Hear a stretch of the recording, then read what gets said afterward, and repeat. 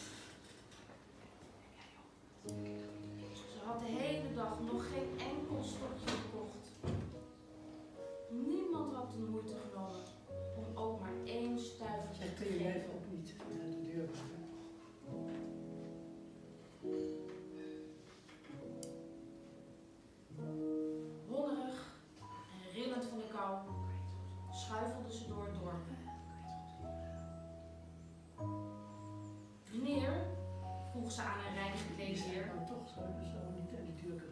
Wilt u misschien een aantal zwavelstokjes kopen? Terwijl ze dit vroeg, strekte ze haar knuisjes naar hem uit, waarin ze haar bosje zwavelstokjes vasthield. Minachtend keek de goed geklede heer op het meisje neer en riep: Ga eens aan de kant, meisje. Je staat behoorlijk in de weg.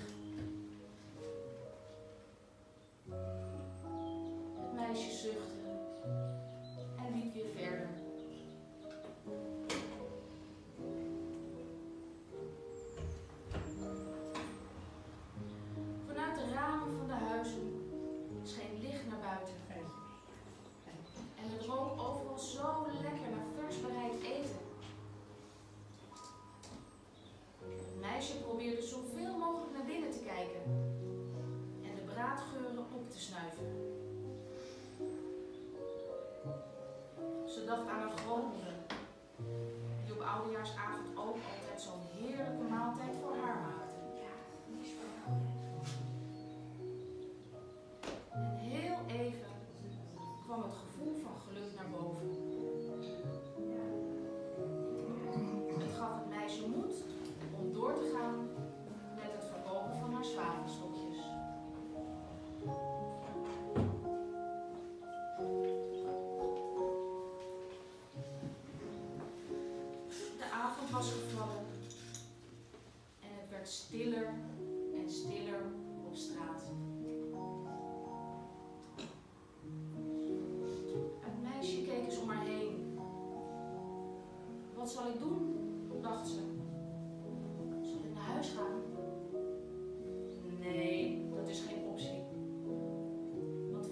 slaan als hij ziet dat ik geen enkel zwavelstokje heb verkocht.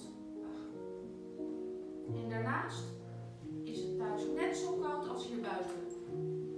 Want geld om kolen voor de kolenkachel te kopen is er niet.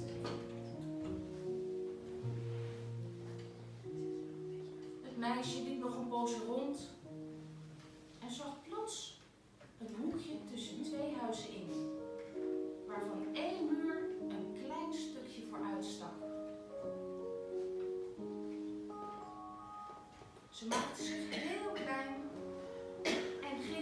elkaar in het uiterste hoekje zitten en trok haar knietjes tegen haar.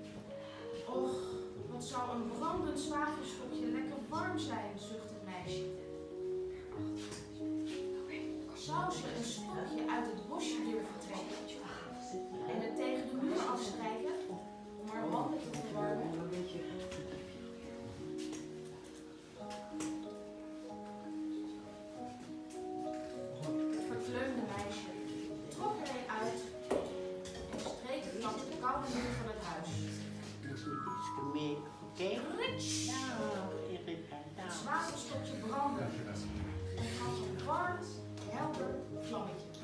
Als het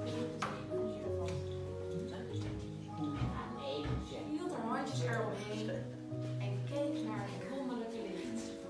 Ja. Ik zie het thuis. Het meisje dacht dat ze vaak een de zat. Met glimmende koperen knoppen en een koperen astroom.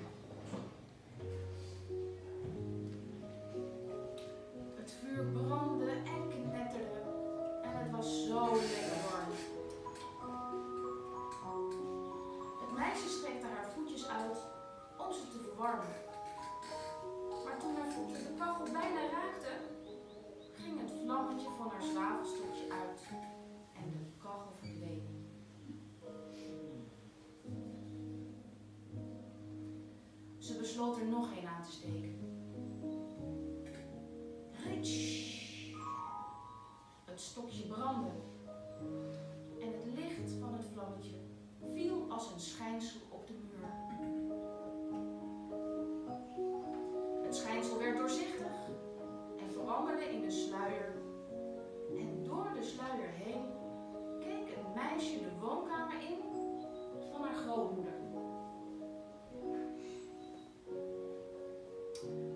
dat de tafel gedekt was met het fijnste porseleinen serviesgoed dat er maar bestond. Gedekt op een spierwit tafelkleed, waar het zilveren bestek en de opgepoetste wijnglazen tegen het plafond en de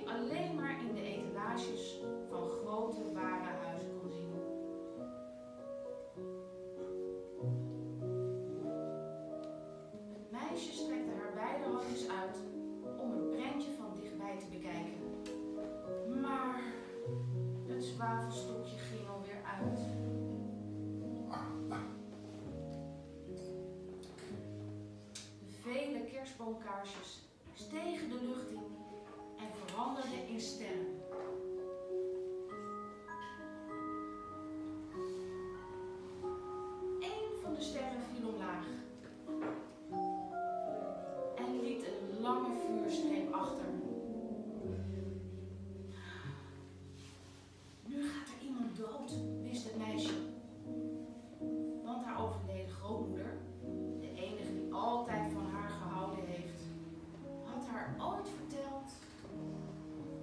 Als je een ster ziet vallen, weet je dat er een zieltje onderweg is naar de hemel.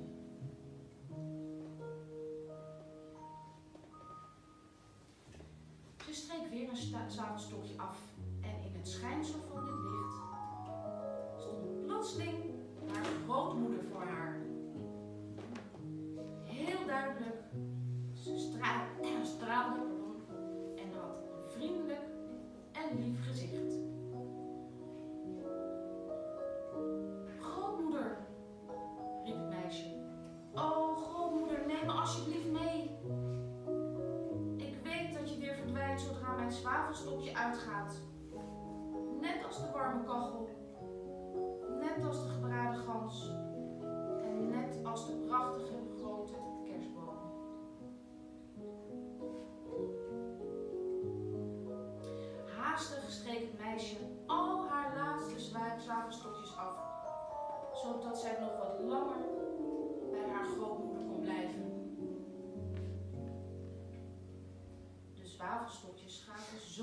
ontzettend veel licht.